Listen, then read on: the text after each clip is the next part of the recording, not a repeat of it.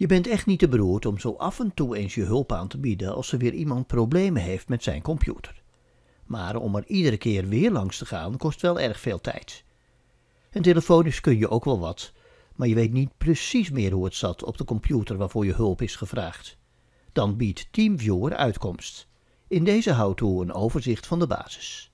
TeamViewer is geopend, versie 10. Ook op de andere computer moet uiteraard TeamViewer zijn geïnstalleerd. Je kunt eventueel een mailtje sturen naar de persoon waarvan je de computer gaat overnemen met een link waar TeamViewer kan worden gedownload. Maar het is verstandiger om bij mensen die je wel eens helpt met computerproblemen het programma te installeren en voor het gemak een snelkoppeling in de taakbalk te maken. In het venster krijg je een eigen ID en een wachtwoord. Dit wordt overigens geregeld vernieuwd. Aan de rechterkant zie je de Partner ID.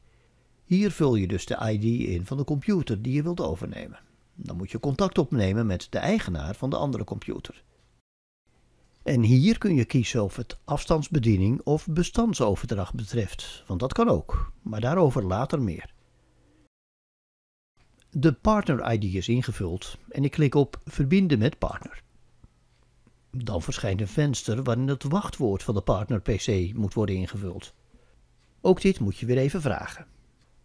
En ik klik op Aanmelden. Nu verschijnt direct de andere computer in beeld. En je krijgt een melding dat de andere computer meerdere monitors heeft. Hier kun je simpel de tweede in beeld brengen. Je ziet diverse opties. Je kunt bijvoorbeeld via acties van kant wisselen met partner.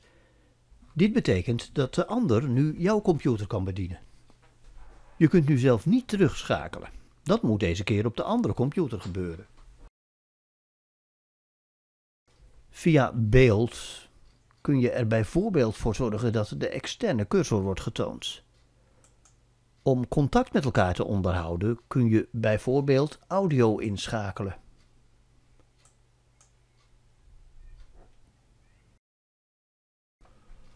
Of chatten.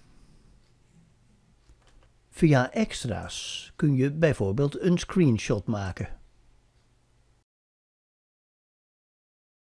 En informatie opvragen over de externe computer. En hier vind je dus ook de mogelijkheid bestanden naar andere computers te verplaatsen. Daarvoor klik je op bestandsoverdracht. Dan zie je twee vensters en onderin zie je dat de verbinding tot stand is gebracht. Je versleept simpel het bestand van de linkerkant naar de rechterkant, zodat dit bestand ook op de externe computer beschikbaar komt.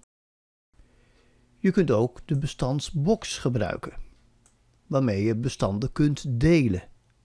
Via de plus geef je aan waar je bestand staat, bijvoorbeeld op Dropbox of Google Drive.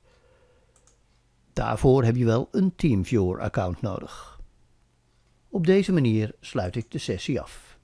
Tot zover deze how-to over de basis van TeamViewer. Meer in een volgende how-to.